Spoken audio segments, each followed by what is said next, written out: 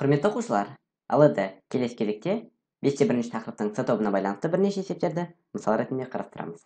Ең алдымен сегіз жүз алпыс алтыншы жаттығудан бастайық.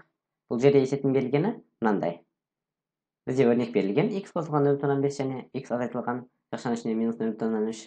Осы өрнектердің мәндерін салыстырып нәтижесін теңсіздік белгілерімен яғни үлкен немесе кіші белгісімен жазып көрсетуіміз қажет. Бұларды салыстыру үшін ең алдымен мұндағы жақшаны ашып жазып алайық яғни бірінші өрнектің өзін жазамын x қосылған нөл бүтін оннан бестің ал мына өрнекті жақшаны ашатын болсақ жақшаның алдында минус таңбасы болғанына байланысты жақшаның ішіндегі санның таңбасы қарама қарсы таңбаға ауысады демек ол плюсқа түрленеді. Мінекей екі өрнекті жазып алдық. Енді мұндағы x-тары бірдей сандар сол себепті бірдей санға біз қандай да бір сандарды қосып отырмыз. Демек қосып отырған сандардың қайсысы үлкен болатын болса сол өрнегіміздің өзі де үлкен болып табылады. Бұл жерде нөл бүтін оннан бес нөл бүтін оннан үштен үлкен. Сол себепті бірде екі сандарына қосып отырғанымызға байланысты бұл жерде қосып жатқан санымыздың қайсысы үлкен болса сол өрнегіміз де автоматты түрде үлкен болып есептелінеді. Сол себепті x қосылған нөл бүтін оннан бес үлкен x қосылған нөл бүтін оннан үштен деп жаза аламыз. Қалған есептерді осылай жазып шығыңыздар. Ал енді біз келесі мысалды қарастырамыз. Бұл сегіз жүз алпыс жетінші жаттығу. Теңсіздіктің тура болатынын дәлелдеуіміз қажет. Яғни мынандай бір теңсіздік берілген. Мұндағы а үлкен немесе тең бірден болатын болса бұл теңсіздік тура орындалатынын дәлелдеуіміз қажет. Ол үшін ең алдымен үш бүтін екіден бірді үш бүтін оннан бес деп түрлендіріп теңсіздіктің екінші жағына таңбасын ауыстырып жіберейік. Сонда екі бүтін оннан сегіз аның өзі қалады. Үлкен немесе тең. Теңсіздіктің екі жағында алты бүтін оннан үштің өзі бар. Соны жазып аламыз. Мұндағы үш бүтін екіден бір минус таңбамен өтеді сонда минус таңбаға ауыстырамыз оны. Екіден бір деп отырғанымыз нөл бүтін оннан беске тең сол себепті бұны түрлендіріп үш бүтін оннан бес деп жазуға болады. Өйткені бірді екіге бөлсек нөл бүтін оннан бес шығады. Ал енді бұл жерде екі бүтін оннан сегіз аның өзін қайталап жазайық. Үлкен немесе тең артық немесе тең немесе алты бүтін оннан үш азайтылған үш бүтін оннан беске. Алты бүтін оннан үштен үш бүтін оннан бес азайтатын болсақ екі бүтін оннан сегіз қалады. Мінекей осы жерден бірден көруге болады. Мұндағы а үлкен немесе тең бірден болатын болса мына теңсіздік орындалатын. Өйткені бірдей сандар шығып тұр. Немесе теңсіздіктің екі жағында екі бүтін оннан сегізге бөліп жіберуге болады. Немесе мындағы екі бүтін оннан сегізді теңсіздіктің екінші жағына бөлу қылып жіберейік. Сонда а үлкен немесе тең екі бүтін оннан сегіз бөлінген екі бүтін оннан сегізге. Бөлетін болсақ бір шығады. Сонда а үлкен немесе тең бірден біз мына өрнекті шығарып алдық. Демек а үлкен немесе тең бірден болатын болса берілген теңсіздік тура болатынын дәлелдеп шықтық. Бұны дәлелдеу үшін біз өрнекті түрлендіріп қысқартып ықшамдап алдық. Сол арқылы теңсіздік дәлелденді қалған теңсіздіктерді осы жолмен сіздер дәлелдеп шығыңыздар. Ал енді біз ең соңғы мысалымызды қарастырамыз.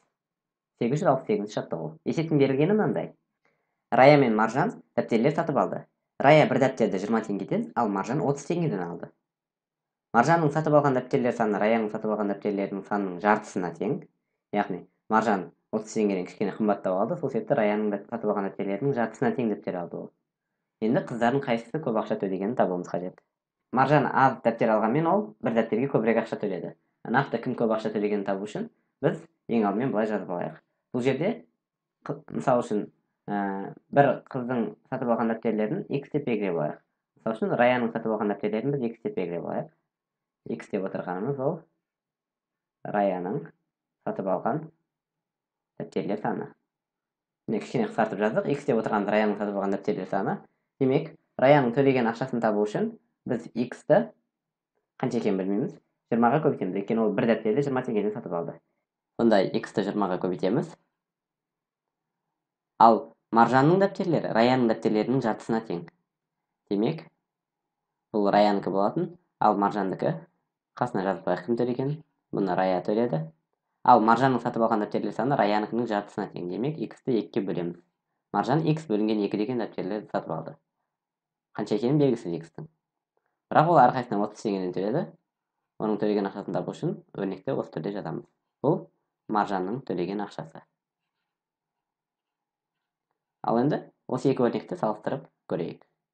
Олай болса x көбейткен жиырма үлкен бе немесе x бөлінген екі көбейткен отыз үлкен бе деген сұраққа біз былай жауап береміз.